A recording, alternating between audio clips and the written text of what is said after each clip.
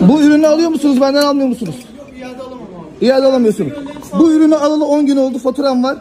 Ve benden ürünü almıyorsun. Cam müşteri Bu Müşteri hatası. bu müşteri hatası mı? Müşteri hatası kabul ediyor musun? şu an sizin yaptığınız suç. Bu müşteri hatası mı? Şu an sizin yaptığınız suç. Bu müşteri hatası mı dostum? Ben bununla çoluğumu çocuğumu yakıyordum.